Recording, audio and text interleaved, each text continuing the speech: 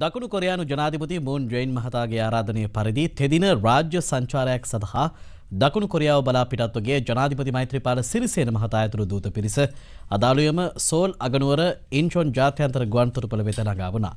ශ්‍රී ලංකාව සහ කොරියානු ජනරාජ්‍ය අතර රාජ්‍යතාන්ත්‍රික සබඳතා ආරම්භ කර වසර හතලිහක් සපිරීමට සමගාමිව ජනාධිපතිවරයාගේ මෙම රාජ්‍ය සංචාරය සිදුවනවා.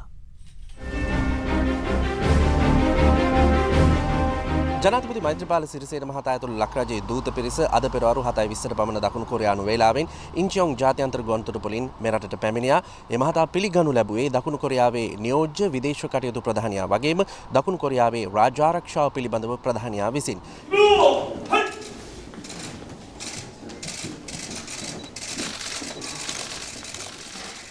කොරියාවේ සෝල් අගනුවර ඉන්චෝන් ජාත්‍යන්තර ගොන්තොටුපලේදී එරට රාජ්‍යනායකින් විසින් මහත්හරසරෙන් පිළිගැනීමෙන් අනතුරුව ජනාධිපතිවරයා නවතන් ගන්නා හෝටලේ වෙත පැමිණියා.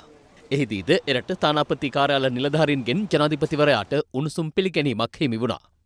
ජනාධිපතිවරයාගේ මෙම සංචාරය තුළදී දෙරට අතර ආර්ථික සංස්කෘතික හා ආයෝජන සහයෝකිතාව සම්බන්ධ ගිවිසුම් කිහිපයකට මෙන්ම රැකයා බලපත්‍ර ක්‍රමයට අදාළ අවබෝධතා ගිවිසුම් කිහිපයකටද අත්සන් තැබීමට නියමිතයි.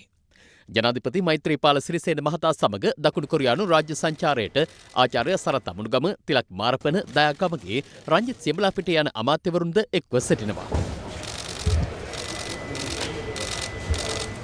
ඉතින් සිය රාජ සංචාරයේ ප්‍රථම අදියර සටහන් කරමින් ජනාධිපතිවරයා අද පස්වරුවේ දකුණු කොරියානු සිද්ධස්ථානයක් වැඳ පුදා ගැනීමට නියමිතයි. ඉන් අනතුරුව ජනාධිපතිවරයා දකුණු කොරියාවේ වෙසෙන ශ්‍රී ලාංකික ශ්‍රමිකයින් මුණ ගැසීමටද අද පස්වරුවේ බලාපොරොත්තු වෙනවා. මේ සියලු තොරතුරු ඔබ වෙත ගෙනීමට අද දෙරන සූදානමින් මම කසුන් සපුමල් දිසානායක අද දෙරන වෙනුවෙන්.